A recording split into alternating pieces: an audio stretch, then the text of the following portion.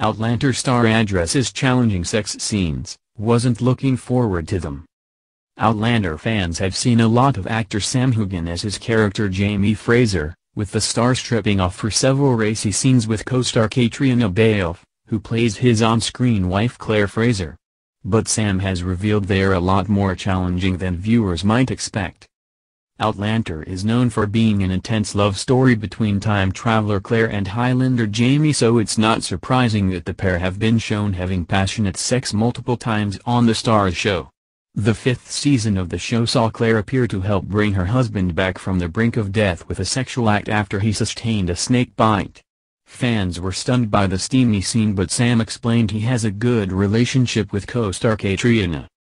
When asked if he was uncomfortable with sex scenes early on in the series, Sam explained, I'd been nude in some theater productions before but wasn't really looking forward to these scenes.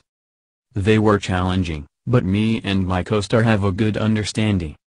We try to use every intimate scene to show a little more of their relationship or how they relate to each other. Over time this has deepened and their love for each other just gets better and better.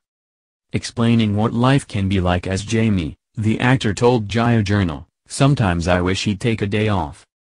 Shooting is very intense, and he's always involved in some way. Haha, maybe he could take a vacation once in a while. However Sam added, but honestly, I wouldn't have it any other way. It's not the first time Sam has opened up about shooting intimate scenes. Following on from the racy sex act, which brought Jamie back from death. He told Glamour, what we wanted to do was show that through her touch. I think that she has this ability, I wouldn't say it's magical, but maybe it is. It's not the first time Sam has opened up about shooting intimate scenes. Following on from the racy sex act, which brought Jamie back from death. He told Glamour, what we wanted to do was show that through her touch. I think that she has this ability, I wouldn't say it's magical, but maybe it is. In a Q&A with W Network, he was asked, at W underscore network at Sam Heughan any idea as to when season 6 will begin production? We were supposed to start this week, he told his 647,200 Twitter followers. We have scheduled for fall. We'll just have to see. It looks like fans will be facing a long Droughtlander before they find out what happens to the Fraser family next.